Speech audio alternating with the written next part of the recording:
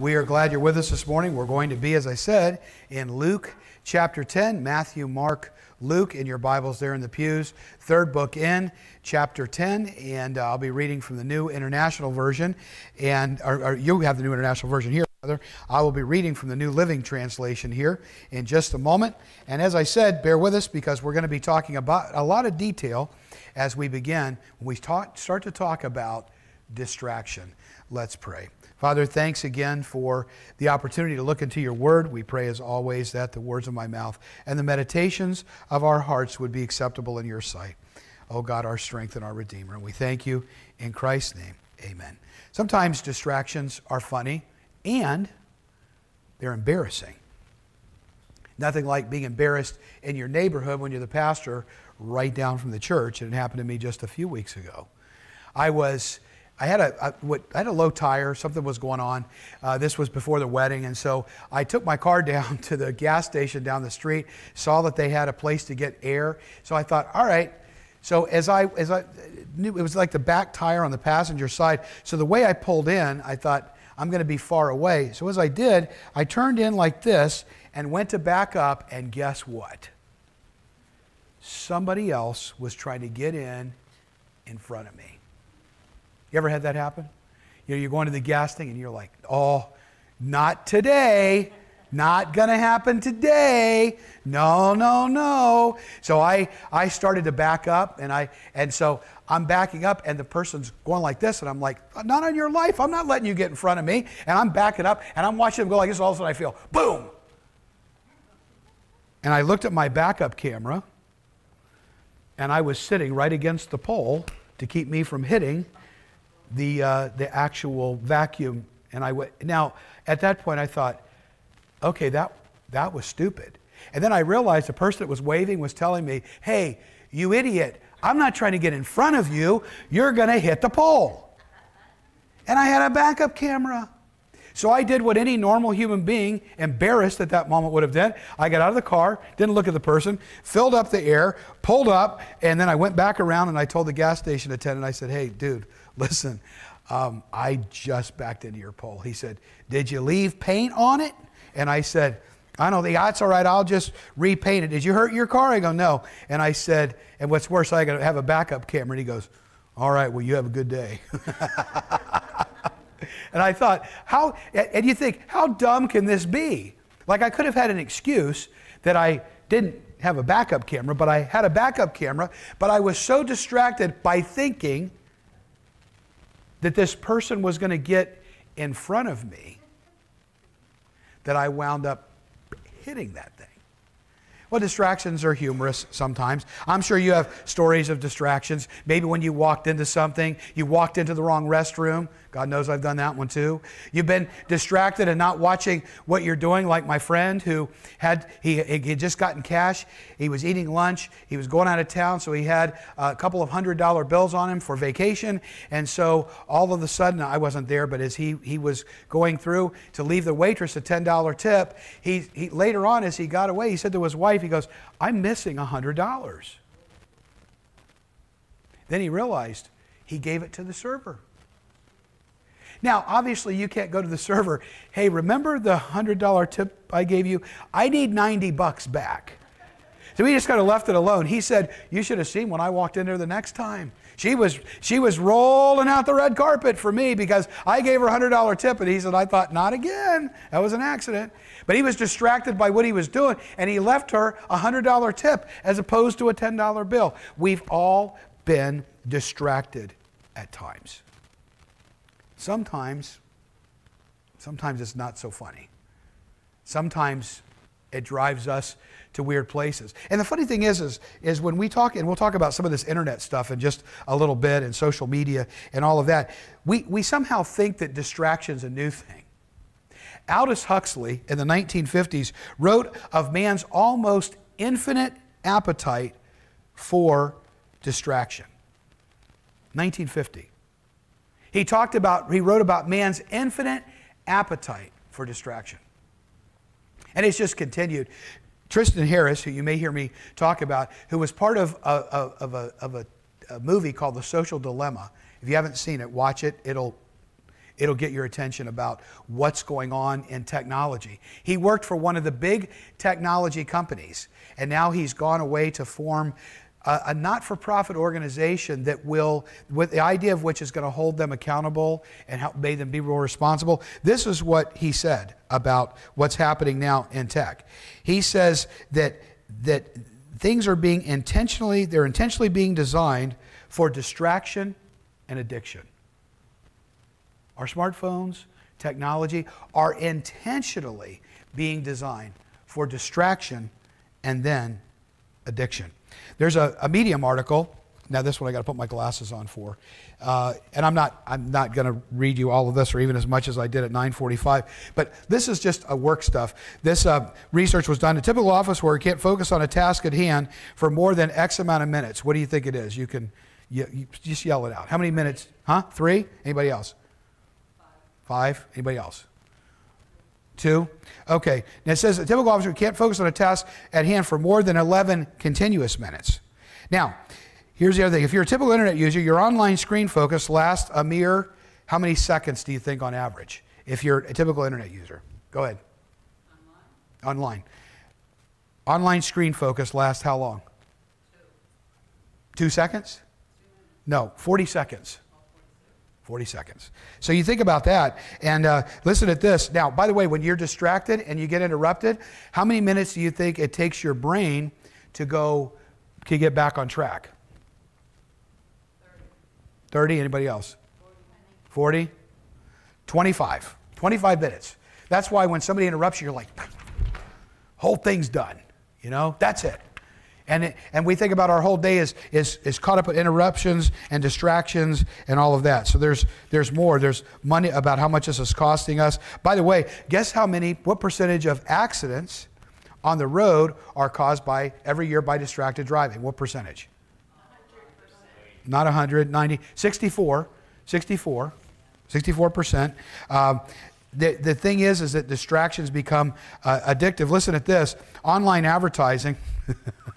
I hate online advertising. Don't you hate those pop ups? You're like, and you try to get rid of them, and then like five more pop up. 61% of people say they don't want to be distracted by online ads. 91% of people say that today's online ads are more intrusive, more intrusive compared to email, and compared to a few years ago.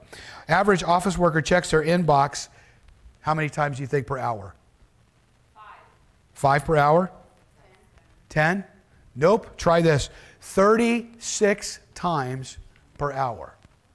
And you think about when you have your, your phone, refresh, refresh, refresh, refresh, and on and on it goes. There is so many things that are causing us distraction, but there's more than that. There are other things that are causing distraction. Forget, forget our smartphones and forget all of that. Get this. Oh, when you when you look at it, by, by the way, let me just say this real quick. We think we can multitask. Do you know that's a myth, right? People say, I'm the king of multitasking. I'm the queen of multitasking. Your brain can really only focus on one thing at a time. What's interesting is that people, when they, when, when, when they think they're multitasking, our brains are moving so fast. We think we're multitasking, but we're not. We're literally only able to focus on one thing at a time. So it's interesting to note, though, there are a couple of other things that distract us, and I want to give them to you for a few minutes. And these maybe are a little more, well, sinister, a little more operating in the background. Here they are. The first one that causes a lot of distraction is our own ego.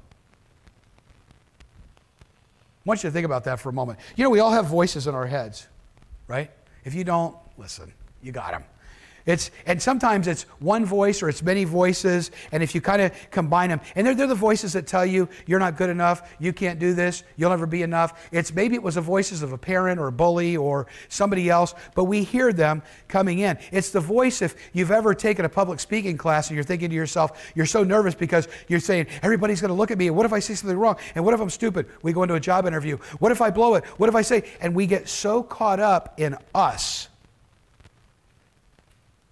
that we're distracted from doing what we really need to be doing. Fulfilling our ego can become a distraction itself because we're focused on the inside and not the outside. There's another thing, of course, that I think is when we when we understand it, that ego's bad, but also substances. Let's talk about them for a second.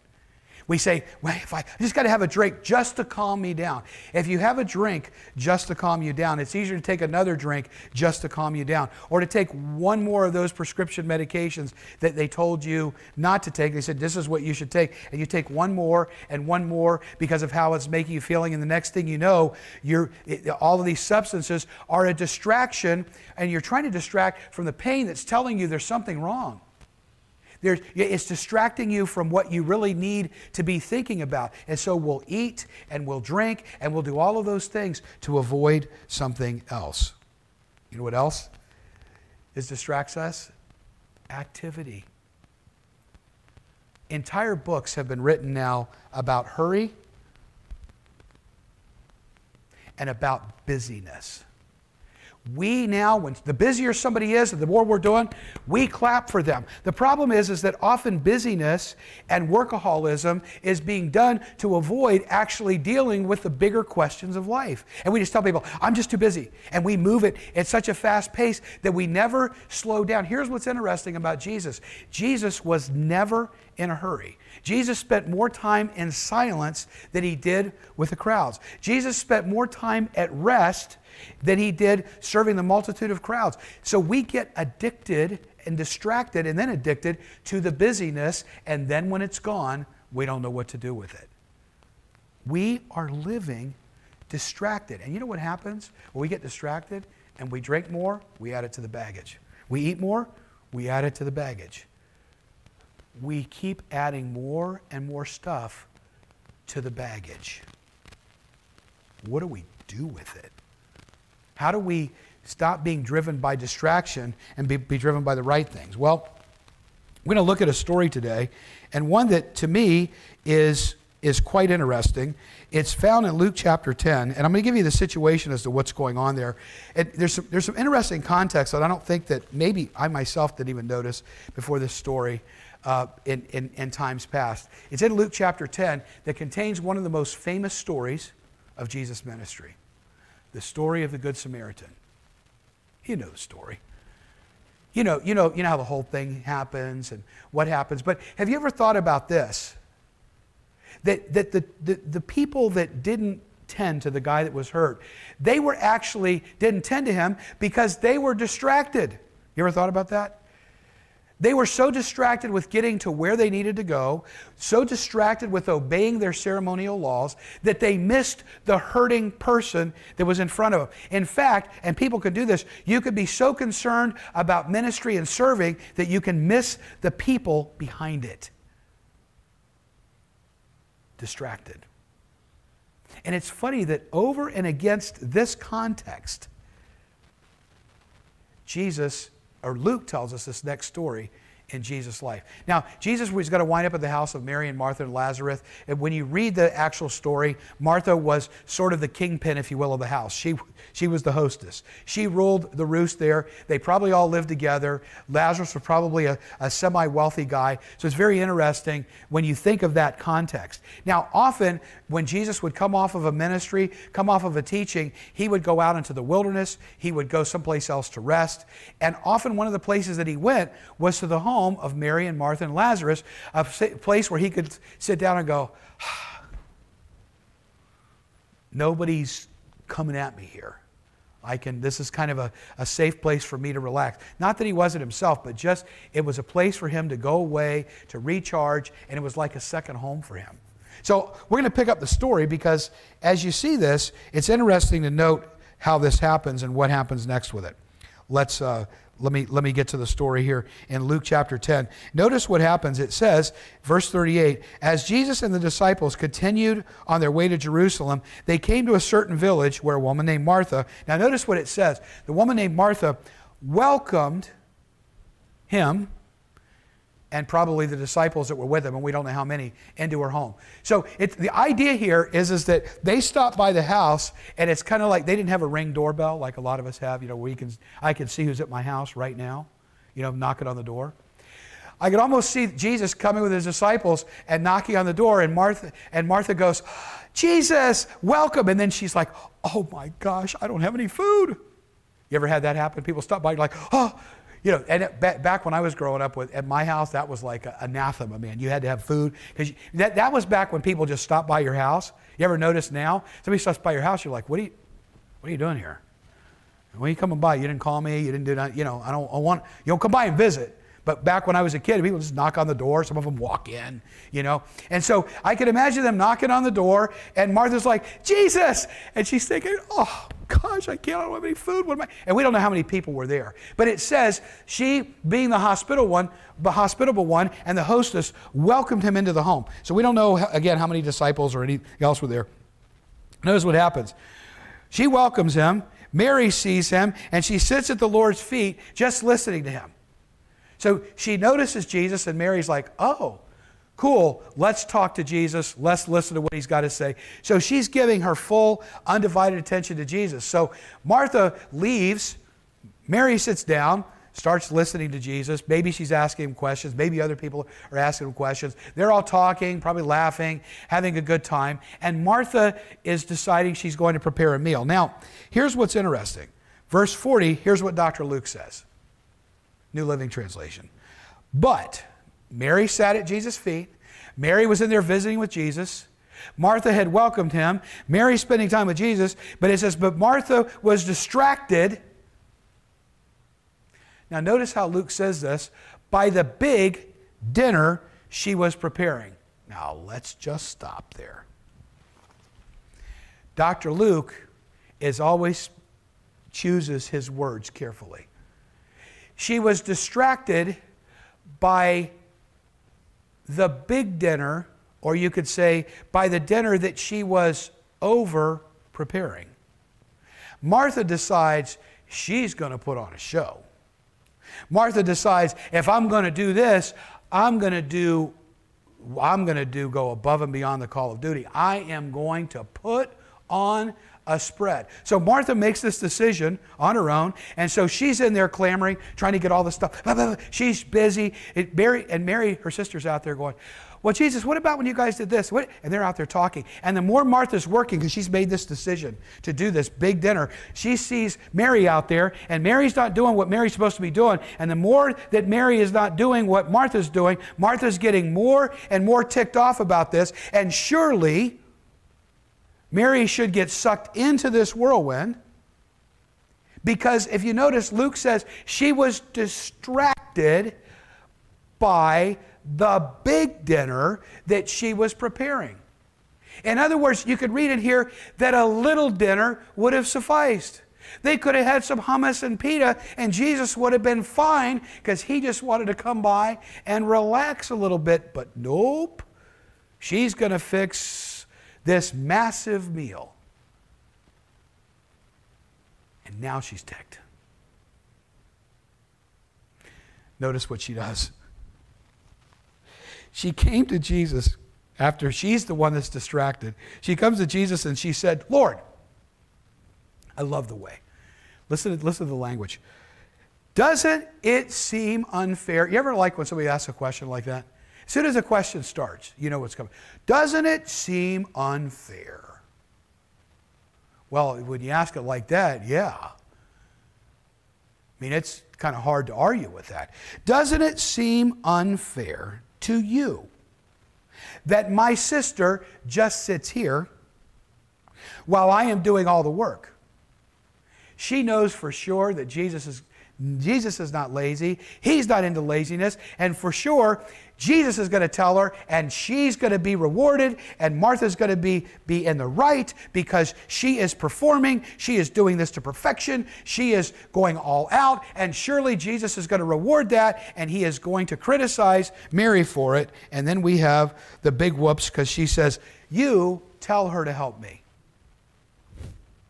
Sounds reasonable, right? But the Lord said to her, My dear Martha, you, now watch this, you are now worried and upset over all of these details. You went from taking something that was should have been simple.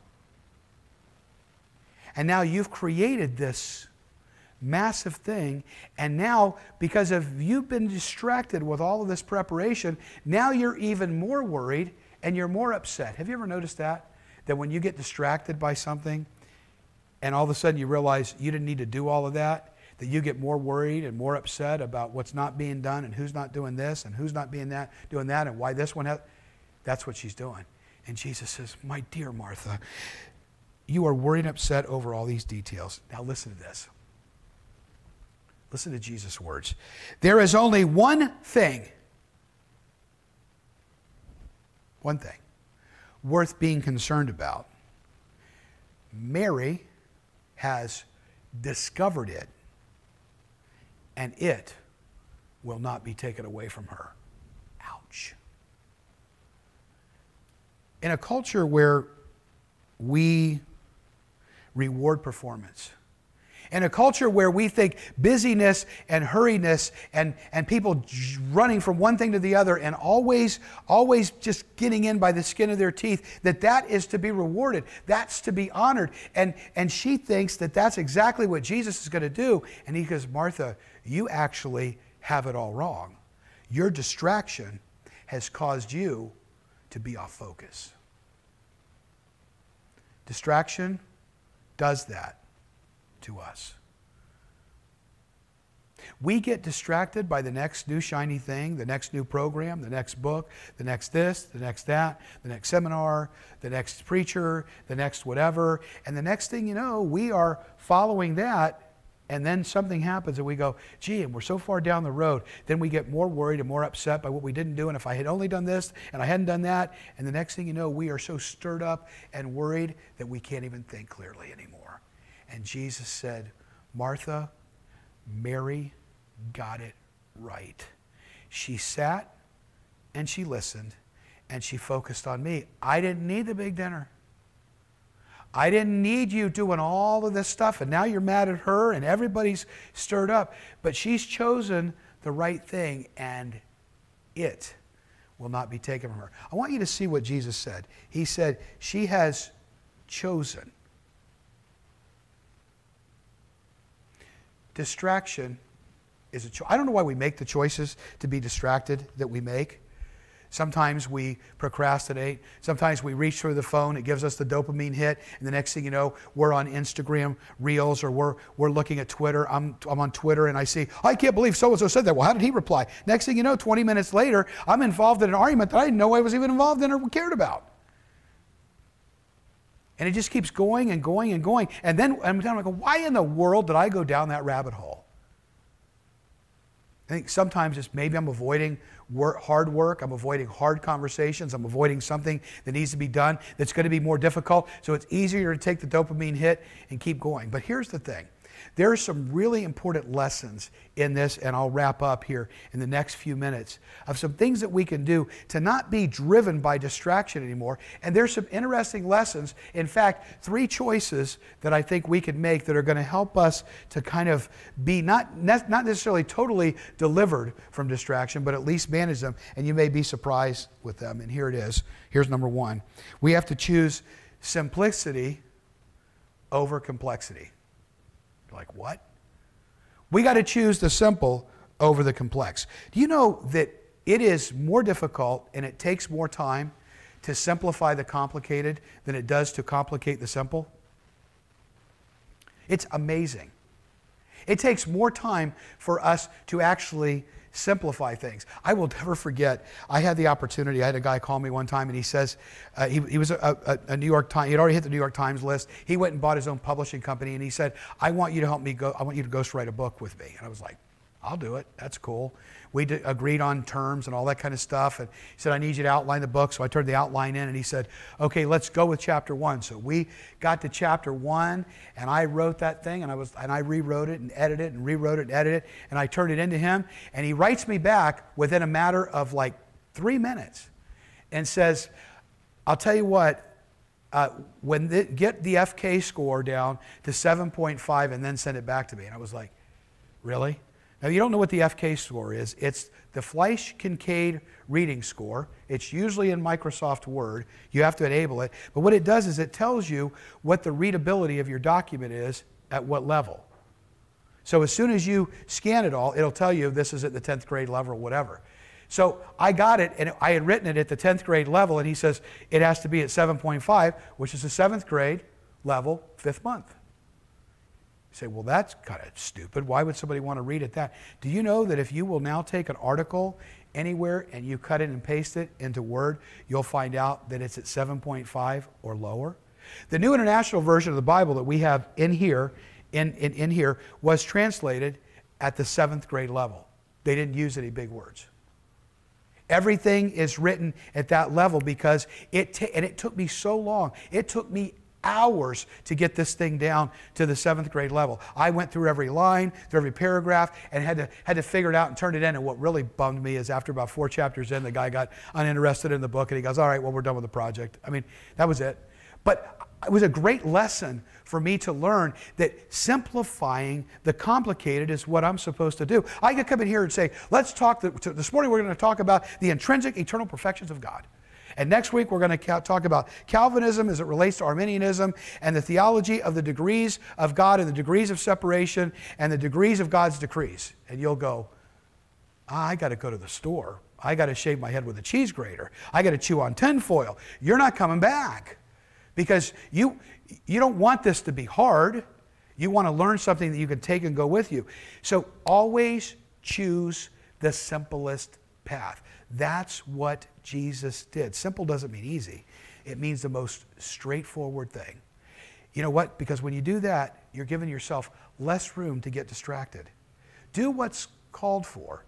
And before you do any more, make sure that you know more is called for. That's how Martha missed it. She could have got some hummus, some dip, say, Sorry, guys, this is all I got. Put it on the table. Let's all sit and talk. Then she got mad at everybody else. So we have to, we have to choose simplicity over complexity. Number two, we have to tailor our temperament. Let me tell you what I mean by that. I do, I do a, lot of, a lot of work with behavioral styles. I actually have assessments that I give to people, and I've used them for probably 20 something years. And it's, it's interesting because people are always surprised by these when they, when they see them. Like, I, I didn't know I did that. Most likely it's something your spouse or somebody else has told you that you're doing, and all of a sudden you read it in black and white, and you go, oh, there it is. The point is, is that all of us have, a, have certain strengths and weaknesses. Mine is communication. I could over communicate. I could, I could take, make, take a story and make it as long as it needs to be. And I've had to learn to what I like to call land the plane. Because if not, we'll just keep going and going, and I could keep adding more. And if you laugh, forget it. The story's going on longer, you know? So, but my strength overused can become my greatest weakness. Your strength overused can become your greatest weakness. Martha's greatest strength was she knew how to get things done, but then she barreled forward. Mary's greatest strength probably was that she would sit around in contemplation, but if she sat around in contemplation too much, guess what happens? Nothing ever gets done. But in each situation, we have a choice to be able to read the room and to know exactly what it is that we need to be doing. We have to see where we're at and what it's called for at the moment. And that means we've got to choose to tailor our temperament. The third thing, the third choice, is what I'm going to call we have to choose the one thing.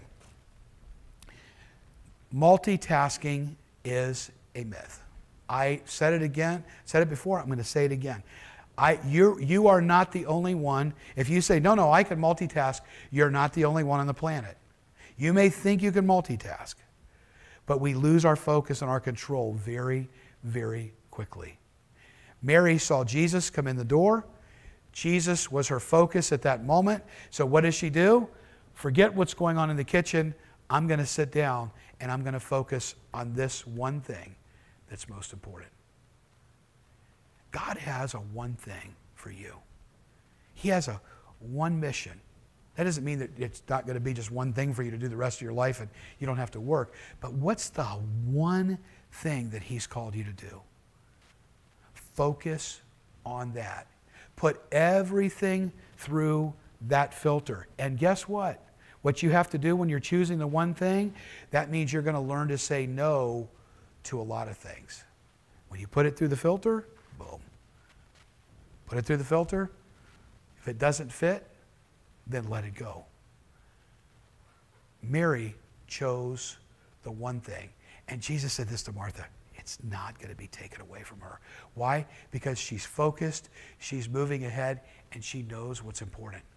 Let me tell you, this is a hard, hard thing on distraction because it happens to all of us. I find myself when it's done, I'm like, I've, I've been sitting there scrolling, and the next thing you know, it's 20, 30, 40 minutes, I'm ashamed to say watching people argue on Facebook or argue on Twitter or talk about this or talk about that. And I'm thinking, man, this stuff works. This dopamine hit's really cool. But meanwhile, I got off mission and got off target. Don't let distract, don't be driven by distraction, but be driven by the destiny, the thing that God has called you to. Let's pray. Father, thank you for your word. Sometimes these things are so difficult to comprehend, but we, we wind up taking so much of the distractions and it just adds to our baggage. God, may we not be driven by distraction, but rather be driven by the destiny that you've called us to. May we be able to identify that and continue to focus on that. And God, help us to make these choices to, to at least to, to minimize these distractions in our lives. May we choose that simplicity over complexity. May we, may we really learn to tailor our temperament, knowing that you've given us strengths that we can truly be used in every situation. And God, may we choose that destiny, that one thing that you have for us. And we'll thank you for it in Christ's name. And now, may the grace of our Lord Jesus Christ and the love of God and the fellowship of the Holy Spirit be with you all both now and forever. Amen. God bless you. Dismissed. Make it a great week.